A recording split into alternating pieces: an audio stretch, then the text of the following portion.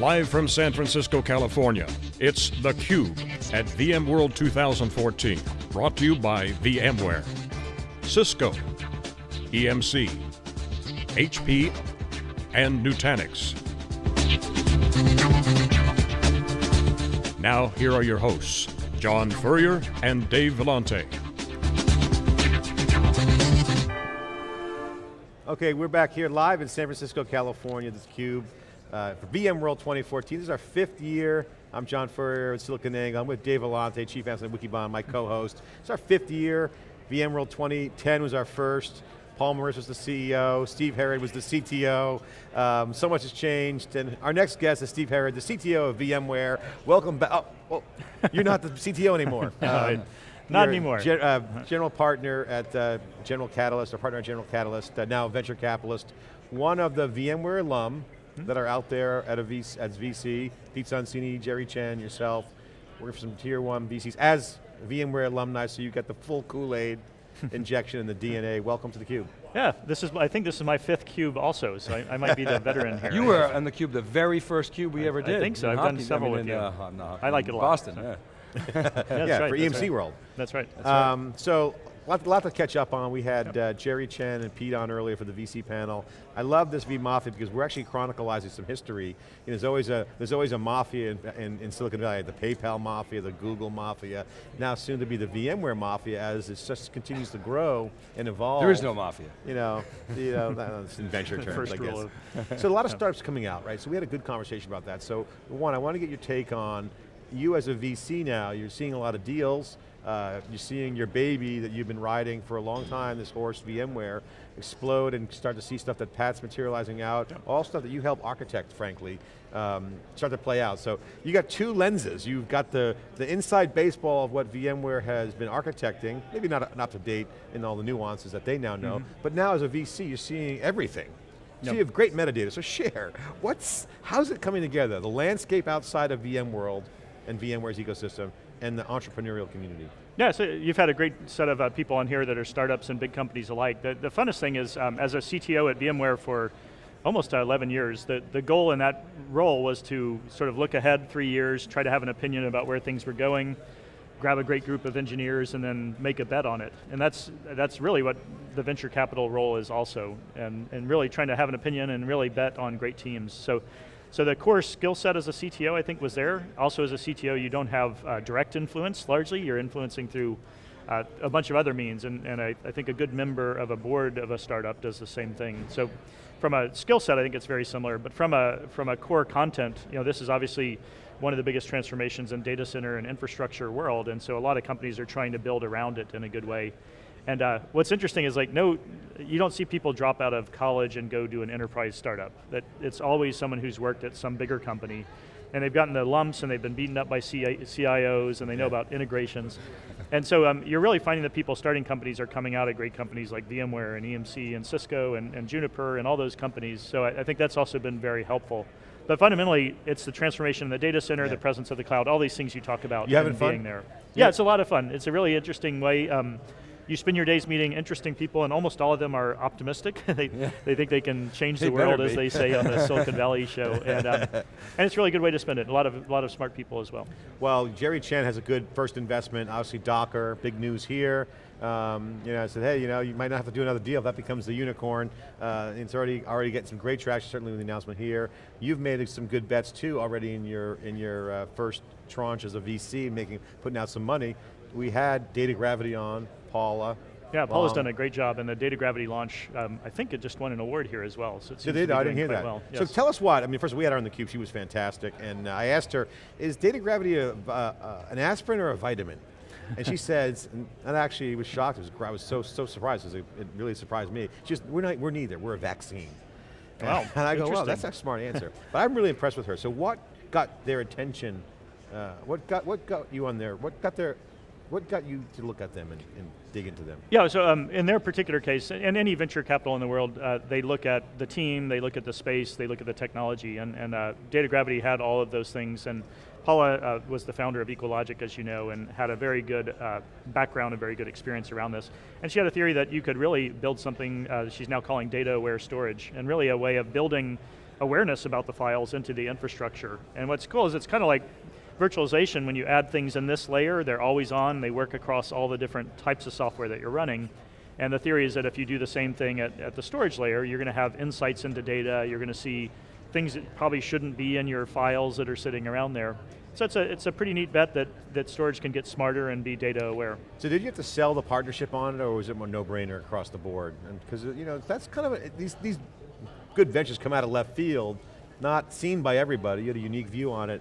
What was it like at General Catalyst? Was it all, was it take a little bit of, of, of prep for these guys, softening the ground? What did you do? This one was very, very easy. Paula's, uh, Paula and her team and John and everyone are really accomplished uh, entrepreneurs. It's a big space and they know what they're doing. So this is and one then, of the And you guys ones. knew them before. You had a good, good read on them. Yeah, our team had, had definitely interacted in the past. She was great on the cube. She's um, she demonstrated, you know, just by a brief conversation, real leadership qualities and ability to pull together a team, which I love because the East Coast needs a little bit more leadership quality in teams, you know. Yeah, it's a great, And, uh, really great team they built there. Yeah, so uh, we'll be watching that one. So, Yep. what else? I'm, I've been told to ask you about Illum, Illumio. Illumio is extremely exciting, and this is, uh, I'm, I'm doing stealth investments right now, so that's, uh, that's one of the challenges on coming on the show, but at a very top level, um, Did Stu leak that? there were two, uh, Yes, two, did. two very strong theses that I'm using for all my investments. Uh, one is around a multi-cloud world, and I, I don't say hybrid cloud because I really think it includes SaaS applications, includes mobile applications, and, and really thinking about what are the things a company is going to need to embrace all these multiple clouds, um, and that absolutely touches on security in a big way. And then the other part of it is really thinking deeply around the infrastructure required for mobile applications as they're truly embraced by enterprises.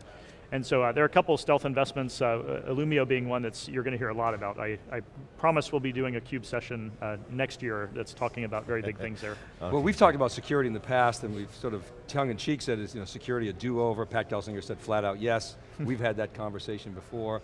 Um, Yep. So, and then somebody tweeted out, I think it was today, that oh, we're spending more on you know, security than we are on developing apps. I'm like, well, that's probably been the case for 10, 20 years. um, Yep. But so, is this part of a do-over, or is it more of an evolution? What's going on? No, security, obviously it's a very heavily invested space and it's one of the bigger problems in all of IT. You guys cover this all the time. Um, you know, it's, it's the great time, as they say, the, the robbers rob banks because that's where the money is, and increasingly the identity, the personal information, the intellectual property is all in these computer systems. And then you throw in just the complexity of uh, a faster moving world where you can't do configuration management databases. You can't do all the stuff that people used to use to get control. And so um, as a result, it's uh, more interesting to steal stuff from the world, and it's easier because there's so much craziness with mobile. So I think that the world is very ripe for a lot of solutions. Uh, couple that with all the uh, national sponsored in, uh, um, intercepts that are going on in cyber warfare that's growing, it's just going to be something that we talk about for years to come. Yeah, so I asked you, you joined our crowd chat pre-games, kind of experimental pre-gaming concept. It was really fun on Friday. I asked you the VC question, what opportunities you guys see for founders, innovate, and I really liked your answer, it was on security. You said the, the white space that you said your favorites were, were security for perimeterless IT and new infrastructure. So that that's kind of implying multi-cloud, if you will. So Absolutely. Can you drill down on what security for perimeter, perimeterless IT means? Yeah, it's a mouthful, isn't it? Uh, so people talk No, about just the, late in the day. the fall. yeah, I'm actually perfectly fresh. This is easy. Uh, the fall of the perimeter is something people have talked about in a little bit. I think it was really um, instigated by AWS has done the the fall of the perimeter of I own all my resources to infrastructure running in the cloud. But it's 100% the perimeter used to be also around all my apps are internally, but now I use Workday and Salesforce and so many that are out there. And then lastly, the perimeter used to be that all my employees, the, the good guys were inside of my data center or my company, and the bad guys were likely outside of it trying to get in. But now with mobile as well as with insider threats, it's completely reversed. So you have just as many bad guys or troublemakers within the perimeter, and you have employees trying to be productive outside And, of and the, the perimeter. API economy creates more vulnerabilities. I love APIs and 100% that that is, that is really the core and the thing that's driving all these different apps. So I like to really think differently about, first of all, security shouldn't be at a perimeter, it shouldn't be an infrastructure concept. It should wrap applications and it should go where the application goes. And then secondly, I, I love the API world and an investment I made is a company called RunScope, which is in San Francisco. I, I love them. They're really thinking of a world where enterprises have to write and support their APIs as really a core concept. As they monetize them, as they write their own uh, well, mobile this came apps. up. This came up in some of our. Uh, hasn't, we had it on the cube. I'll bring it up for the first time this week uh, around Docker. Right, great for stateless applications. Right. REST APIs, etc. But stateful applications a little bit challenged. Can you give us your thoughts on that? Stateful applications a little bit have different requirements. How does Docker play for stateful applications on top of virtual machines? It's kind of getting geeky, but Oh yeah, you know, I'm, I, I like geeky. So um, no, I think they're very, it- it's funny because they are often considered, uh, before this event, as very competitive, and I think really they've been at targeting different audiences and different value propositions. VMware has largely been for stateful applications, keeping them running, uh, making sure that they run well, and Docker has been a very easy way for a, a large number of very quick, lightweight applications that are largely stateless to be created. So I think that what you've seen at this event and what, what makes just a lot of sense is you can combine the values of each of them and have something new.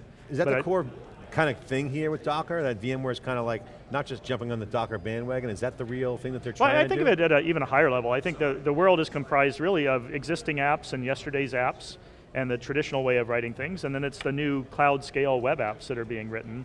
And the latter are largely, um, are largely stateless, and the they have uh, a lot of tiers that look very similar. So I, I think it makes good sense to be able to support both type of applications in the model world and take a different approach to each of them. Hey, Steve, I want to ask you about your sort of personal investment thesis. I mean, obviously VC's always looking for the big hit, right? But um, you uh, perpetuate one of the biggest, if not the biggest transformation in IT industry history. I guess with the, maybe with the possible, I guess with the exception of downsizing the mainframe, but, but still, massive. Um, 10x disruption. Is the next wave, whether it's cost cutting or what Maritz used to call deeper integration into the business, is it, is it as big?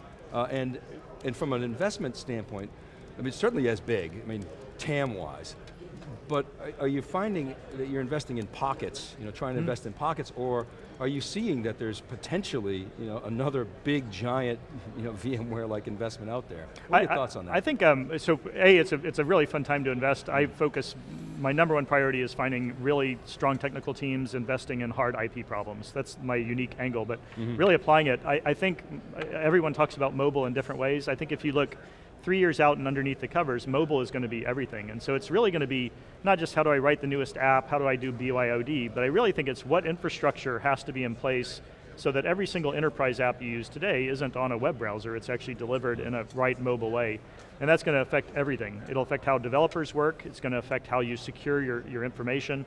100% the API economy will be in place so that people are grabbing the So data this is from basically everywhere. this whole awareness thing that Paula brings up doesn't just apply to data, it really applies to being aware for applications, being contextually aware of environmental issues. I, I think data awareness will hit all the infrastructure that people are there. It's how you can do better context, which I really like that term as well. So the thesis is find, find a problem, you go attack it, with, with, find a team, and then kind of see what happens. Yeah, right? but definitely have a strong opinion about where the world will be several years from now, find the best team to go attack some of the problems and know it's going to morph a little bit along the way.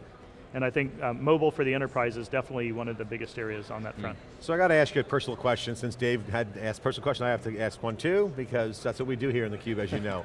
Um, VCs say no a lot, and CTOs don't necessarily say no a lot. They usually like kind of are bit of amiable, they go Let's with the flow. "Yeah, Yeah. We could do that, maybe, you know. What was the hardest thing that you had to transition to this no, no, no? Because everyone wants money, right? So you're, Yeah, the, yeah. you're the lottery ticket, or the investor, or the banker, if you will. You're funding great entrepreneurs. Has it been hard to say no? And what That's is- a really good question. It is, um, you know, certainly you have good personal ties with a lot of people. There's a lot of merit ideas that you can't possibly fund or go into. Um, I'm, a- I'm a big believer in sort of Silicon Valley karma and, and help people out here whether you do something or not and something good happens later. So I, everyone has to say no a lot. I try to provide some extra level of um, analysis or some suggestions along the way or introductions. But it is, it is kind of hard. no one likes to say no as often as you have to. Yeah, it's, you'd like to say, yeah, here, take some cash, run with it, right? But it's hard, Yeah. you got to say no. And You gotta- you gotta entrepreneurs are saying no to venture capitalists quite a lot um, also. It goes Um, both ways. What is the coolest thing that you've done as a VC um, that you could share with the folks out there? Um, besides kite surfing, what, I don't know if you know kite surf, that's what they all do from what I hear. I don't kite surf, but what, what have you done that's the coolest thing since you left VMware? Uh, so my favorite thing is, um, again, uh, coming more from a technical background and running engineering groups, um, uh, we were able to create a Palo Alto office, which is actually a house on University Avenue. And I wanted to create it like if I were an engineer, what would I want to come to? And a lot of venture firms that you go to, they look like banks or, or art history museums.